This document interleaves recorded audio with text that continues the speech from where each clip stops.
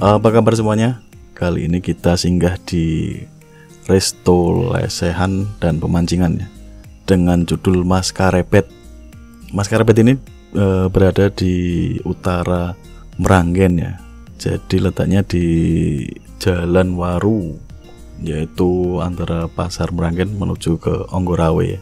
Kesan pertama yang saya dapat adalah suasananya masih sepi ya atau mungkin kebetulan bulan puasa jadi agak berkurang untuk pengunjungnya dan bisa kalian lihat sendiri untuk bangunannya untuk tempat makan makannya itu ada tiga tiga bangunan yaitu yang di belakang saya ini terus samping itu samping kolam dan agak jauh sedikit.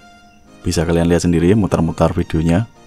Dan saya ingatkan untuk video ini adalah video 360 jadi kalian bisa melihat-lihat sendiri sekitar kalian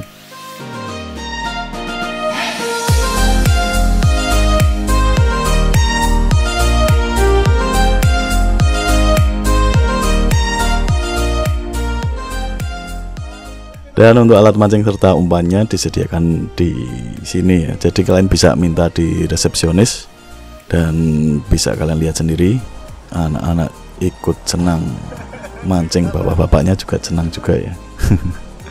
Untuk ikan hasil tangkapan harus dibawa pulang dan harga untuk satu kilonya dibanderol 35.000 dan di sini kebanyakan ikannya adalah ikan bawal ya dapat info dari petugas yang jaga katanya ada bawal dan mujair kalau nggak salah.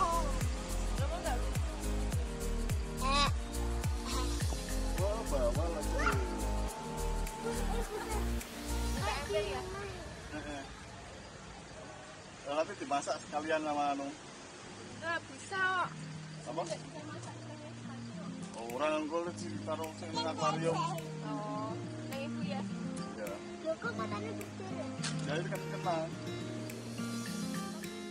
Untuk masakan di resto ini saya kira cukup enak.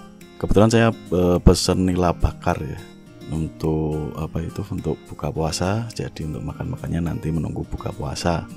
Dan dari segi pelayanan juga cukup bagus untuk fasilitas ada musola, toilet dan lain sebagainya juga cukup lumayan lah. Untuk parkiran ada sedikit perbaikan mungkin kalau sekarang mungkin udah jadi ya. Jadi kemarin waktu itu ada perbaikan. Jadi untuk kalian yang pengen ke situ juga saya kira sudah cukup lumayan lah untuk keluarga. Atau lebaran bersama di situ juga ya recommended lah dari saya. Oke sedikit review dari saya. Moga aja bermanfaat. Dan jika kalian suka dengan video ini silahkan ya subscribe ataupun like ataupun komen ataupun klik tombol loncengnya ya dan sampai jumpa lagi pada video-video berikutnya.